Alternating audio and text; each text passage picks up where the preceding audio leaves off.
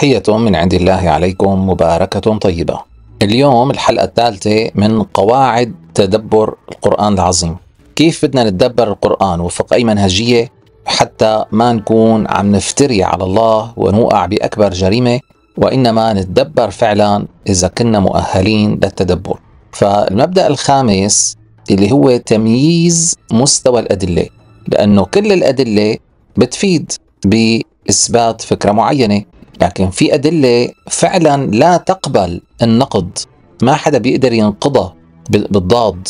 ينقضها بمعنى آه، يلغيها مو ينتقدها. فالمهم لا يمكن نقضها. بينما في أدلة يعني تقبل الوجهين آه، بتشير بإشارة ظنية باتجاه معين مو إشارة يقينية.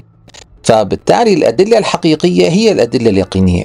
الأدلة الاستئناسية اللي هي الظنية. ظنية يعني بلغت مبلغ كتير كبير من آه، الإشارات اللي بتدل على فكرة معينة لكن ما زالت تختزن بداخلها نسبة معينة من احتمالية أنه يكون كل هالفكرة غلط.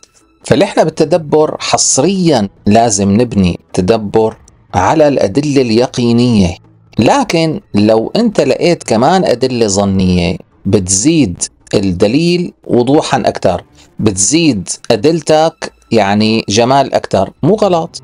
فمثلا أنا لما قلت بكتابي الحميات الغذائية القرآنية الإعجازية لما قلت أنه عدد آيات الرزق المنسوبة للملأ الأعلى بتساوي بعددها عدد آيات الرزق المنسوبة إلى الله وأنه هاد فيه إشارة أنه المؤمن لازم يتوازن بنظرته للرزق يكون عنده توازن من ناحية بما أنها تتعلق بالملأ الأعلى فيعرف أنه لازم ياخذ بالأسباب لأقصاها لحتى يحصل على الرزق. لازم ما ينام ما يقول يلا على الله تركتها لازم ياخذ بالأسباب لأقصاها. وبنفس الوقت ما ينسى أنه أنت مهما أخذت بالأسباب ولازم تاخذ بالأسباب لكن في النهاية تحديد مقدار رزقك هو بالنهاية من عند الله. فهذا الشيء أنا مو استنبطته من مجرد تساوي عدد الآيات بين الملأ الأعلى وبين الله. لا لو كنت أنا بس هذا دليلي لكان كلامي جريمة جريمة كبيرة. لكن أنا استنبطته من أدلة كثيرة يقينية.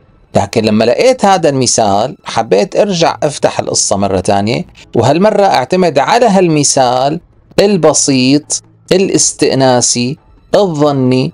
ليش؟ لأنه حلو يعني سهل فهمه. لأنه شرائح كثير عم تسمع الحلقات اللي عم نعملها.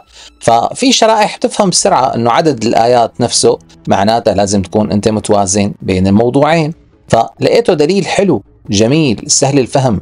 أما ما بصير أنا كمتدبر يكون دليلي بهالمستوى واعتمده فقط وأعتبره فكرة حقيقية. مجرد عدد الآيات. لا هذا بيكون جريمة. فلازم تنتبهوا لمستوى الأدلة وكيف تستخدموها.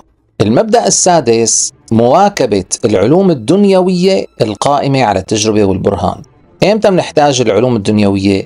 إذا كنت أنت بدك تستنبط من القرآن حقائق علمية مع أن القرآن الأصل فيه أنه هو أحكام شرعية.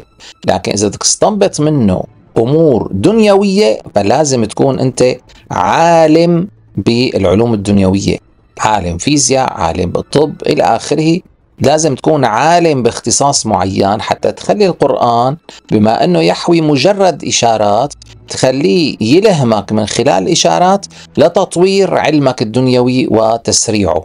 فمثلا بموضوع الغذاء الصحي بالقرآن فيمكن لولا دراستي طويلة جدا جدا يعني من أنا عمري صغير وأنا بتابع مدارس التغذية العالمية وبجربها علي وعلى اللي حولي لولا هالشي يمكن ما كنت فهمت التغذية القرآنية بهالعمق هاد لأنه ممكن بعض المفردات ما كنت أعرف أنه هي مركز ثقل هالموضوع كله. فمثلا عبارة لن نصبر على طعام واحد بما أني شفت مدارس تغذية بتركز على أنه آه، تعارض الأطعمة مع بعضها شو بيساوي. وطبعا كمان حتى جربت هالشي على نفسي وشفت كيف لما أكلت مادة واحدة طول اليوم كيف انقلبت صحتي تماما للأفضل. هلأ من ناحية تانية مهما أنت أخذت الإشارات القرآنية في المجال الدنيوي واستنبطت منها أفضل استنباط بما أنك أنت عالم بالمجال الدنيوي مع ذلك ما فيك تقول إنها يقينية مية بالمية لأنه بما أنه هي إشارات علمية معناتها ممكن يجي حدا من بعدك ويستنبط أفضل منك. يعني وارد بضل الباب مفتوح.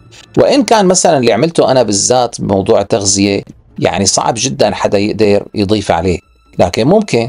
وكمان نفس الفكرة بموضوع الحضارة الفرعونية وعلاقتها بسليمان.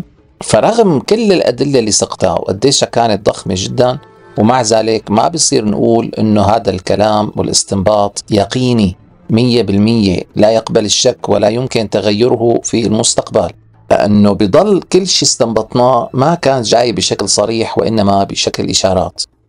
لكن مع ذلك موضوع سليمان والحضارة الفرعونية بضل ما بيتقارن كتير بموضوع التغذية.